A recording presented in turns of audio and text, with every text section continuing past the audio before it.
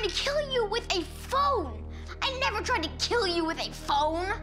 And I would never say that you tried to kill me. Yes, you did. I'm sure You that I said that you tried to hit me with the phone. You called, statement. you called the cops and said that my son, he's trying to kill me with the phone. He threw the phone at me. He tried to kill me. That's interesting, because that's not my recollection of the situation. Okay, good, good. That, that's a step. You admit that you don't remember. Okay, you don't remember things. She treats me like I am a piece of it really bugs me because she then she denies it. Right before we got in the plane, you said that if I get mad and if I freak out, you would have the flight attendants come and put me in handcuffs and arrest me. And then after I was nicely asking you to turn your music down, you turned it up and up, and then eventually you freaked out right my arm. And that hurt. And what gives you the right to strike me with your elbow? Dude, the first time you went like that to me, I ignored it. And you jabbed me again. I didn't jab And I could you. see where it was going. And what I said to you, and this was a word of warning I because tapped you. I did not jab you. I and was- you jabbed me. I was petrified. And what I said to you is physical acts of aggression get taken very seriously on an airplane. I if you you- begin to get aggressive, they will put handcuffs on you. I was getting your attention. I did this. I was tapping your arm with my elbow, I had and arm- you went like that. I had told you on more than one occasion that I wasn't putting the volume down. well, you know what? I kept asking because it was driving me crazy. So then you decided to do this, and after the second one, I gave you one back as a way to say, stop it. So And you said get that's enough.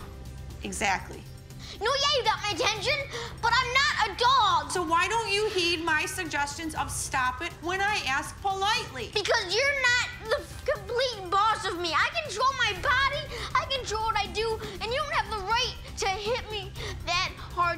lightly tapped your arm with my elbow. Stop, let me talk. I lightly tapped your arm with my elbow to get your attention. Bam, right in my arm.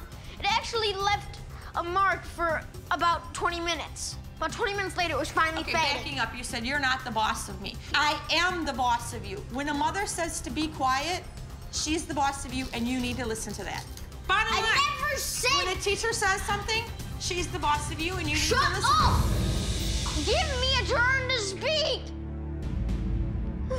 Fine, see? You do that to me. How does it feel? How does it feel to be told to shut up? We've talked about it. Let me speak. How does that Do feel? not. How does that feel? Do not put your hands on me. Do you understand me? Do you understand me? No, I asked you a question. You know what? Shut up! Apparently that's the only word that gets your attention. How does that make you feel? I, of course, always knew that there was a, an incredible amount of rage and anger there, but the depths of it surprised me. And of course, when he raised his hand and slapped me across the face, that absolutely surprised me. I did lightly slap her on the cheek to show her how that feels. So I hope that that made her think about what she does. You know what? You be it'll never end if you continue to be mean. I try to apologize, saying, you know what, Mom, I should not have said that, and I am sorry. And then you come back with, well, all I'm trying to do is treat you nicely. I'm just trying to be nice to you. That's mean.